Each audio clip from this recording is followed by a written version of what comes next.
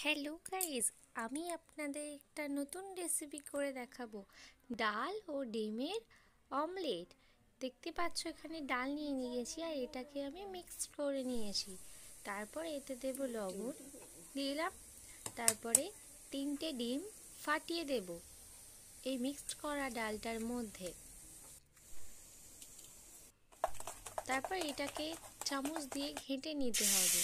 তারপর কড়াইতে তেল দিয়ে এটি পরিমাণ মতো দিয়ে কড়াইতে চারিদিকে ছড়িয়ে দিতে হবে গোলা রুটির মতো।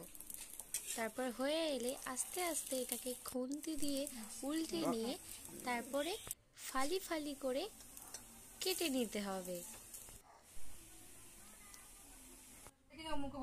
তারপরে আমি আগে থেকে মিক্সড করে রেখেছিলাম টমেটো আদা কাঁচা শুকনো লঙ্কা কুচি। এবার আমি কড়াই তেল দিয়ে দেব কাজু বাদাম দারচিনি তেজপাতা এলাচ জিরের গুঁড়ো। তারপরে আলুগুলো আগে থেকে কেটে রাখা আলুগুলো কড়াইতে দিয়ে দিয়ে এতে একটু লবণ হলুদ ধনে গুঁড়ো জিরে গুঁড়ো আর ওই পেস্ট করে রাখাটা টমেটো। দিয়ে ভালো করে নাড়িয়ে কষে নিতে হবে। তারপরে দিয়ে দিলাম এখানে রং আসার জন্য কাশ্মীরি লঙ্কা, স্বাদ মতো একটু চিনি। এবার এটা ঠিক এরকম কষে আসবে। তারপরে আমি জল ঢেলে দিলাম।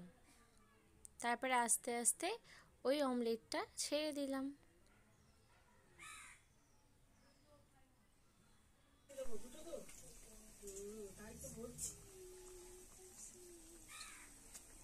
আমার চ্যানেলে নতুন হয়ে থাকলে প্লিজ চ্যানেলটাকে সাবস্ক্রাইব করে পাশে থেকো।